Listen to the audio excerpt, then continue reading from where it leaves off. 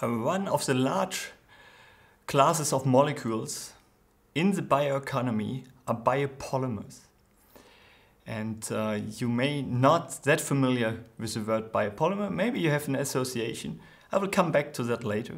But you for sure have an association with the word plastics. And I will start with our use of plastics. These are yearly production numbers. You see, the production started after World War II when the crude oil industry took off. And we have a significant growth in plastic production throughout the years. And even still from 2005 to 2015, just in 10 years, another 100 million tons of plastics were produced more annually.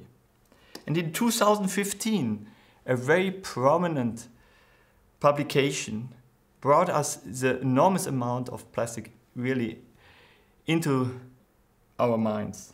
It was from Jambeck et al. Science publication, and they just did some enumeration. How much plastic waste was produced? 270 tons, million tons, obviously.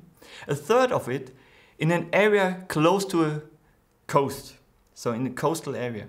And another third of this coastal area used plastic is mismanaged worldwide. More than 30 million tons mismanaged. It means not collected properly, not incinerated, not recycled. And out of these million tons, up to 8 million tons are ending in the ocean yearly. And that's why we have an enormous amount of plastic floating in the ocean, but also sinking to the bottom. If these numbers are not already mind staggering, we have a look at the current numbers. And there we see the 100 million increase, almost 100 million increase. And we have global plastic production. And it's estimated in thousand that it will be double. We have a far higher number of polymers produced, so 400 million tons. You see there's a difference between 320 and 400 million tons.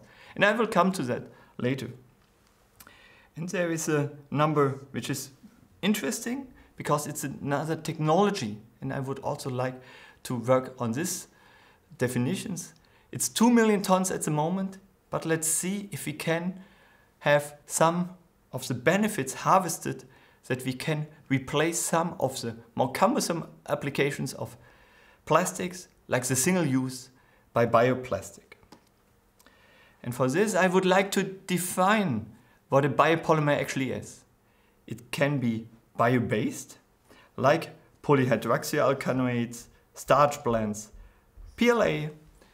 You may have uh, wondered why suddenly your tomato wrapping is so brittle.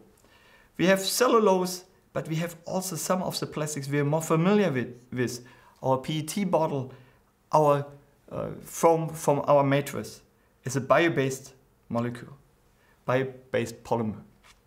And I would like to give an example for this.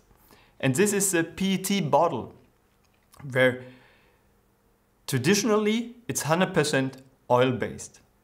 Now, because of the consumer pressure and the importance that one as a company refers to being environmentally friendly, there are alternative products coming up.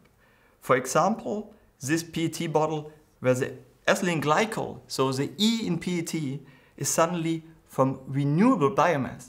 And you end up with a bio-PET bottle which is 30% bio-derived, 70% still crude oil. We have biodegradable polymers, polycaprolactone, polyvinyl alcohols, polyesters, and the mentioned polyhydroxyalkanoates and others. Only the right-hand corner, now the green jigsaw puzzle piece, these are bio-based, so from renewable resources, and biodegradable. So if they are uh, brought into the environment, they will degrade at one point. And now all the green jigsaw puzzles highlighted, we call biopolymer. They're either biodegradable or bio-based, or as an instance here in the right hand corner, they are bio-based and biodegradable. I would like to define and carefully uh, separate it biodegradable versus compostable. Because biodegradable is every polymer which breaks down to CO2 and water in a bioactive environment. It might require extra heat, water, and maybe also oxygen. And the important part of it, it is allowed to take decades to disappear, depending on the conditions. You see here one example of a biodegradable plastic where the fork is slowly disappearing. In a compostable plastic, it has to fulfill technical conditions and here 90% of the plastic has to be lost to CO2 and water, maybe to methane, within 100 days. This is in industrial compost heap. No toxic components are allowed to arise, does not harm plant growth. One can test it easily in bioassays. So we add, we add the polymer to a compost heap, we're checking the weight loss, and we check on toxicity. Compared to alternative uses like combustion, we only have degradation to CO2, maybe to methane and water. If we would like to take this possibility to have the advantage of this compostability, we have to educate the user. And for this, we need labels. We need consumer labels that there's a possibility that you collect your compostable plastic separately. This is not simple.